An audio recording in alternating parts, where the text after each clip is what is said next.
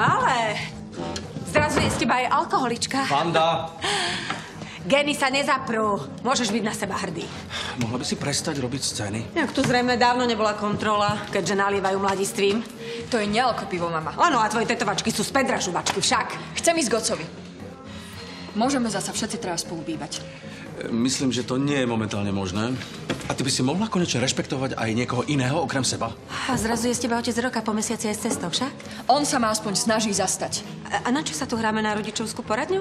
A toto je presne ten dôvod, prečo ty nikdy nič nepochopíš. Dobre, tak sa poďme počúvať. Čo mám akože urobiť, aby som ťa akože pochopila?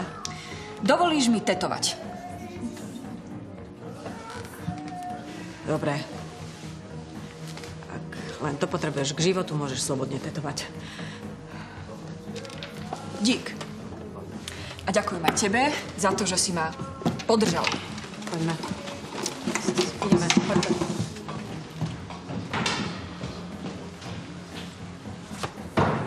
Dám si pivo.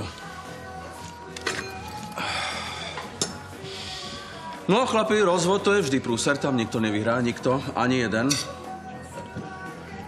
A mne je tej Vandy vlastne trochu ľúto.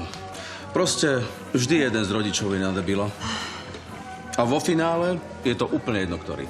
To je údel rodičovstva.